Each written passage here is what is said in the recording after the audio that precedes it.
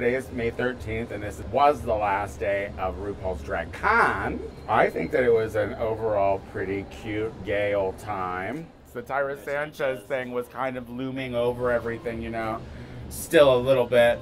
Think about how disappointed I was when that countdown got to zero and nothing happened. Not even a fucking like sparkler or anything. Jesus. There were kids of all ages and all binaries, and also what made it really funny was that not only is it a family affair, but there was also a pornography con right next to it. But then we had the protest. There was like this one man and his like 12 year old, probably gay son, and they were protesting the drag queens, but those protesters were vile. They were like, your sin is as visible as your whiskers. Yeah. I felt like there was a very, like, if you went to DragCon last year, there was like a regalia to the season nine girls. Like, people were like, like they were a focus. You know what I mean? Like, they were there. Like, the 10 girls were like sporadic everywhere, putting corners. Well, the thing is, is like they had just had All Stars too, so it was like, like who do people? So the All Stars people were like more center than the than the uh, than the 10 girls. But you know what?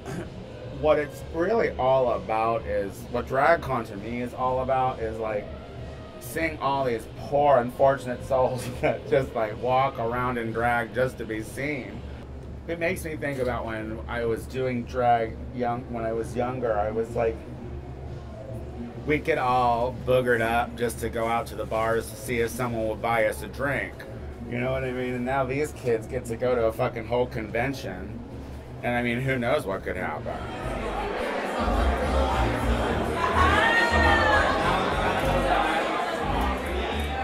PJ, how was your drag con? You've Uh, been doing drag like all weekend, right? Yeah, since like Wednesday. It was very different compared to last year, whereas last year I felt really overwhelmed Uh-huh. how many people were reacting. Yeah, to there was. Oh, reacting to you. I'm sorry. No, thought you were- people, Yeah, people loved me. Did you meet any queens that you've never met before? Uh, the only person that I would really cared to like really meet that I was excited to meet, I met at Nightgowns, and it was Tenderoni. You know what? I met Tenderoni too for the first time. He's a Chicago king, and is doing like pretty impressive Very stuff. well. I mean, it's For, a shame. like that- has been doing drag for less than two years. yeah, Very short amount and just moved to Chicago a few years ago. yeah, it's uh, sickening. There was actually more of a king presence at DragCon this year, I think. Yeah.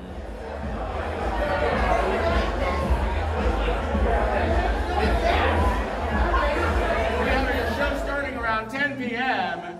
Our headline includes Pinche Queen, Lucy Stoole, and the one, the only Shea Coulee from RuPaul's Drag Race Season 9. Remember when she was robbed? Get ready, bitches. Can we raise those, please? An old bitch can tell you more because they've been around, but they're also too old to be doing all that death drop shit. So kids don't give a fuck about them. No one wants the, the story time, they just want to see the number. My job is emceeing, that's what I do. And my job is dying out. Hi, Precinct, how are we? Welcome to the unofficial closing party of DragCon weekend, everybody.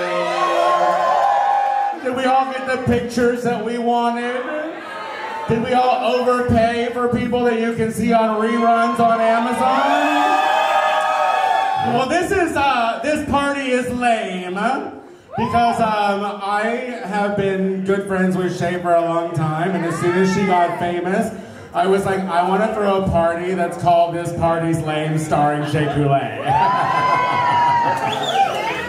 Cause I'll keep the bitch humble. You say whatever you want. All right, Lucy Stoole. So you came all the way here from Chicago for DragCon. Tell us about your DragCon, girl. I had a pretty decent weekend. I was there Friday, Saturday, and Sunday. Got to interact with a lot of people I only see on the internet. Got to slap a few booties. It was a it was a pretty cute time. pretty good. What would you say? Uh, what was the most memorable part of your weekend? Um, hands down, uh, having Shirley Ralph flag me down and tell me to come here. Uh, I will never forget that moment for the rest of my life. That was fantastic. The highlight of the highlight of my life. Absolutely. Like yes, Dina Jones. I was losing it. She goes, "How dare you try and walk past me? Get back over here!" And I was like, "Shirley Ralph just fucking called for me. Oh my god." Tony. Farrah! Love you. You look so gorgeous. Thank you. No, bitch, I was. Are you going pink? What's up? Oh, yeah, well, that's. You're a trendsetter, but I'm too old to pull that off. How was the first number? Good. I'm like ready to get this little one out. And look at us, everybody. We have Shea Coulee from RuPaul's Drag Race Season 9. Uh, Um, excuse me, sir. The meet and greet happens after the show. I paid my $60 and all I got was a crappy shirt. now, you just came off of your season, last season. How is it different from uh, your premiere DragCon to now? oh my god. Well, it's no, no longer my first rodeo, so I know exactly what to expect and how to prepare myself, how to stay hydrated, have my snacks. People You did a panel with Jasmine Masters. Yes. Tell me what this panel was about. Um, this panel was us really, really fucking high, just shooting the shit with no real direction.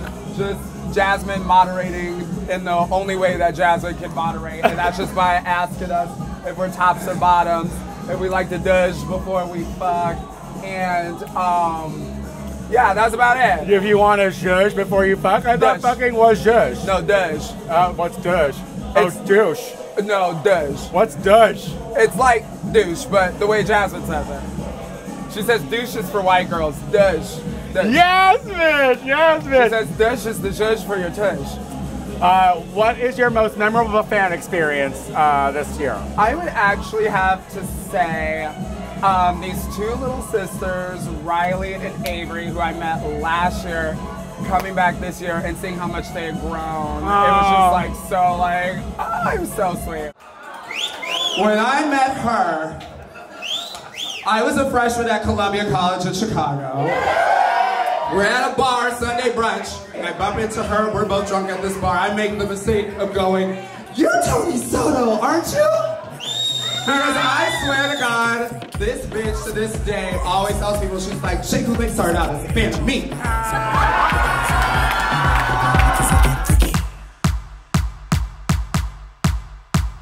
Shake, shake, shake Kool-Aid. My sex smoother than a motherfucking creme brulee. Hands up if you motherfuckers feeling me. Got these niggas all saying, ooh, I Shantae.